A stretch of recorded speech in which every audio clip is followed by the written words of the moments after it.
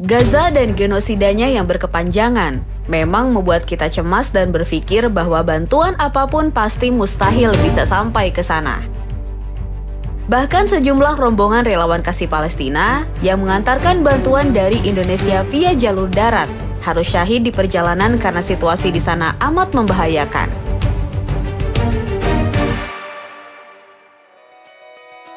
Namun, tahukah sahabat, sebenarnya masih banyak akses yang bisa ditembus khususnya bagi kasih Palestina untuk bisa mengantarkan langsung berbagai bantuan ke perbatasan Gaza.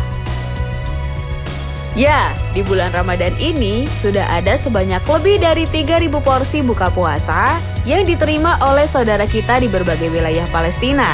Di antaranya di Pusat Pengungsian Tal Al-Zuhur Rafah, Pusat Kamp Pengungsian Rafah, Gaza Utara dan Gaza Tengah, dan di Masjidil Aqsa.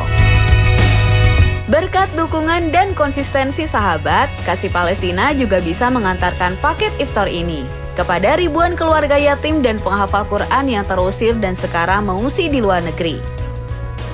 Seperti di pengungsian kota Sanliur Turki, pengungsian kota Aman dan kota Zarko di Yordania. Akhirnya, setelah berbulan-bulan kelaparan dan hanya bisa memakan olahan pakan karena langkanya pangan, dapur umum ini bisa kembali buka di bulan Ramadan untuk memasak menu buka puasanya orang Palestina. Jika sahabat masih bertanya-tanya bagaimana bantuan ini bisa sampai, selain melalui jalur darat, donasi yang sahabat titipkan pun masih bisa dikirim dan diambil langsung melalui beberapa ATM yang masih buka di wilayah Rafah, Gaza. Bahan-bahan makanannya pun bisa didapat karena sejumlah kecil toko perbelanjaan masih dibuka di sana.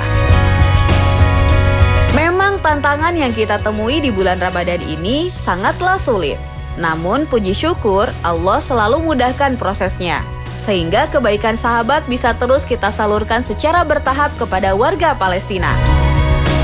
Inilah cerita penyaluran bantuan iftar sahabat di bulan Ramadan. Jangan biarkan dapur umum dari warga Indonesia ini tutup karena bantuan yang terus berkurang. Untuk itu, mari kita jaga agar dapur umum ini bisa buka sepanjang Ramadan dan terus mengirimkan paket buka bersama melalui program Ramadan Kembalikan Senyum Saudara bersama Kasih Palestina. Insya Allah, satu paket buka puasa yang sahabat bagikan akan sampai. Begitu juga pahala puasa dan doanya keluarga pejuang yang bersyukur atas bantuan kita.